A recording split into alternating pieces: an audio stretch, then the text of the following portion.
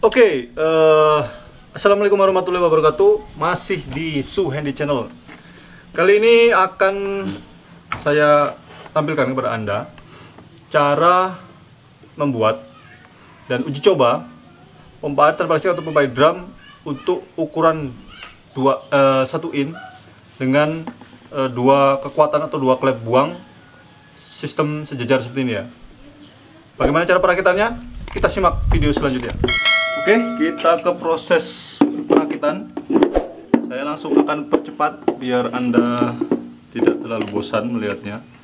Tolong diperhatikan pertama yang dibutuhkan eh, ini ada klep buang, pakai klep tabok kuningan ya. Nah, ini ada shock drat luar. Shock drat luar ini masangnya seperti ini. Nah, ini panahnya menghadap ke arah shock drat luarnya ya. Ke arah ke sana. Oke pasang seperti ini. Kita butuh dua. Satu lagi sama persis masangnya juga panahnya di bawah.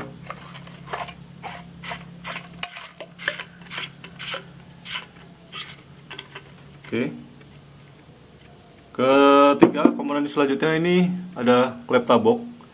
Ini panahnya menghadap ke arah tabung nanti ya. Ini pasang sok luar sok luar juga semua pipa. Oke kita langsung rakit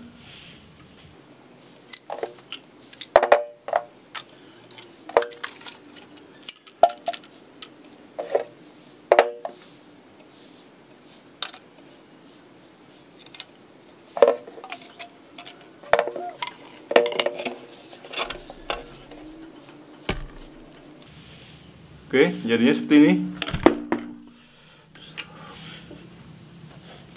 Ini ada tabung ya, yang terakhir. Ini.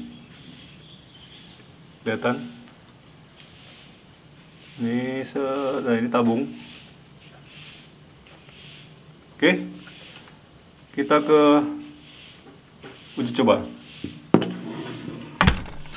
Oke, sekarang kita saatnya uji coba uh, dua klep buang ini ya. Uh, yang double power istilahnya ini. Uh, horizontal semuanya jajar begini. Nah ini sumber airnya dari sini ya. Ini outputnya selangnya. Nah ini sumber airnya kita lihat sebentar coba sini. Nah itu ada bendungan ya. Dibuat bendungan ini kira-kira tingginya mungkin ya setengah meter sampai satu meter lah ya. Nah, itu bendungannya di situ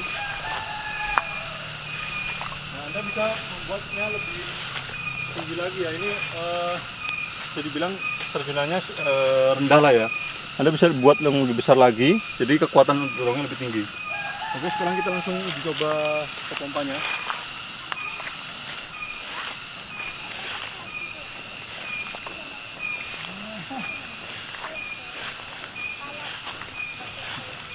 oke ini outputnya selang ya mungkin anda bisa lihat sini.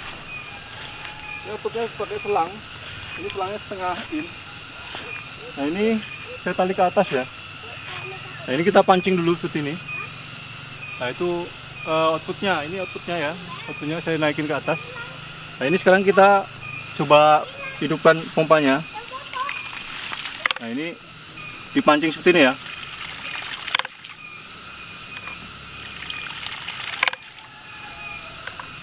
sampai benar-benar dia bekerja otomatis.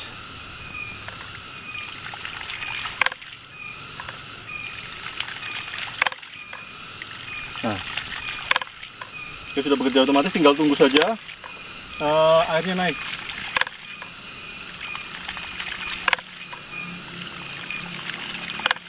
Nah, airnya sudah naik, mungkin bisa dilihat.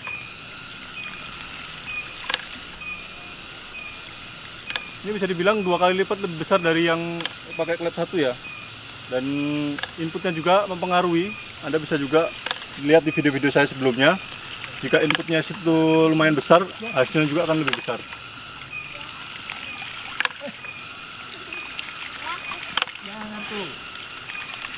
Oke. Oke saya rasa cukup sekian. Jadi coba kita kali ini. Oke Jumpa lagi di video yang lain. Uh, jangan lupa di subscribe dan tekan tombol loncengnya untuk mendapatkan notifikasi terbaru dari uh, video di channel ini. Jumpa lagi di video yang lain. Wassalamualaikum warahmatullahi wabarakatuh.